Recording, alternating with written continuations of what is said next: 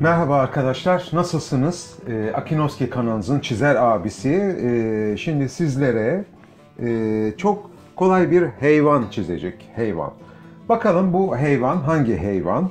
Ee, ilerleyen zamanda e, bu hayvanın ne olduğu ortaya çıkacak ama sadece hayvan yapmak bize yetmiyor. Biliyorsunuz bir taşla iki kuş vurmak diye bir deyim var.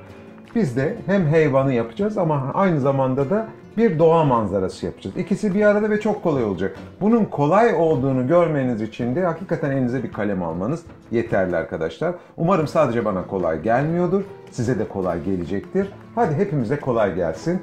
Evet, bunun için bir dağ manzarası. Bu nasıl dağ manzarası demeyelim arkadaşlar. Ben buna dağ manzarası olduğuna inanıyorum.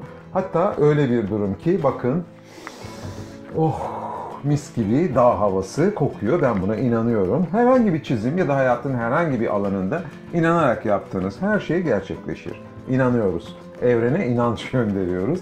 Evet, biz böyle bir dağ havasını yaptıktan sonra, şekillendirdikten sonra bir de dere manzarası. Evet, gördüğünüz gibi bir de dere manzarası yaptık.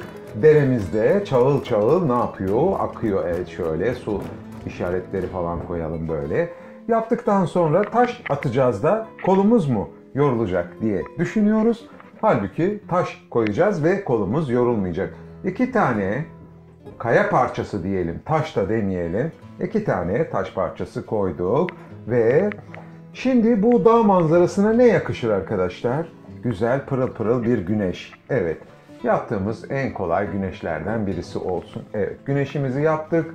Güneşin tepesinde şöyle iki tane basit kuş kondurduk. v kuşları diyelim buna. Bir tane de buraya konduralım. Sonra mesela güneşin hüzmelerini yapalım.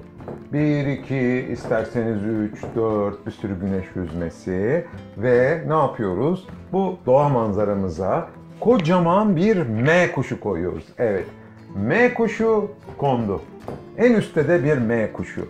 Evet, gördüğünüz gibi hayvanımız ortaya çıktı. Fakat nesi yok bu hayvanımızın? Kuyruğu yok. Evet, bildiniz bu bir kedi hayvanı. Evet, sevimli mi sevimli bir kedi hayvanı. Ve kuyruğunu da bu taşları örttükten sonra akan suyun önünde bulabildiği boşluktan gittiği yere kadar gitti ve kuyruğumuzu oluşturdu.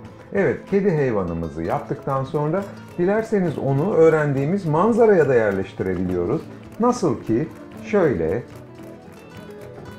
Evet, böyle bir dağ manzarası yapmış idik ve güzel de bir şöyle bir güneş yaptık. Evet, kuşları konduralım. Deremizi akıtalım. Evet, sınırımızı da çizelim. Evet. Kedimiz kullanımınıza hazırdır. Umarım sizin için kolay bir kedi olmuştur. Benim için çok kolay oldu. Beni izlediğiniz için teşekkür ederim. Lütfen yorumlarınızı eksik etmeyin. Görüşmek üzere. Hoşçakalın arkadaşlar.